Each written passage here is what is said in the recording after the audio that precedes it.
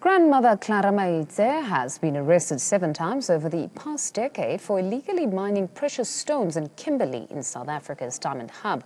Her defiant patience has paid off, and small-scale mining, an industry that employs many thousands of people, has now been decriminalized for the first time under a permit system. 77-year-old Clara Maitse was a Zama Zama, the South African word for an illegal diamond miner, until the government's recent landmark decision to begin decriminalizing the practice.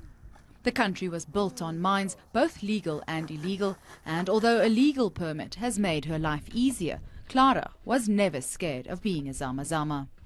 Yeah. No, why would I be afraid? The land belongs to us black people. I can't be scared.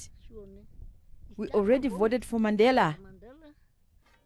Clara, a former domestic worker, was arrested seven times in the past decade for daring to do the back-breaking task of solo mining while bringing up 11 children and several grandchildren. She is one of 800 miners based outside Kimberley in South Africa's Northern Cape province who have been given permits to mine a 500 hectare piece of land owned by a formal mining outfit.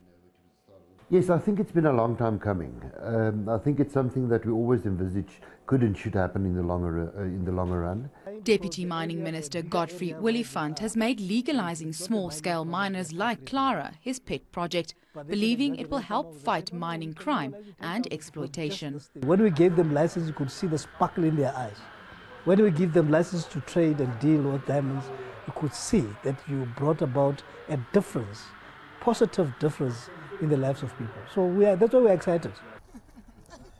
Elisa Lowe, a 47-year-old mother of five who joined the Zama Zamas in 2013 after her divorce, is another community member benefiting from decriminalization. Before the law changed, she mobilized her fellow illegal miners and lobbied the regional government for recognition. Yes, to have the permits is a miracle in our lives. It is a happiness for us all. The permits have opened doors that have been closed to us and built up our self-confidence. Zama Zama means to take a chance, and for years that's exactly what these small-scale miners have done.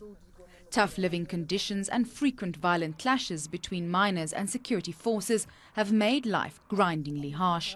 But these miners are hopeful that they'll no longer have to risk their lives to put food on the table.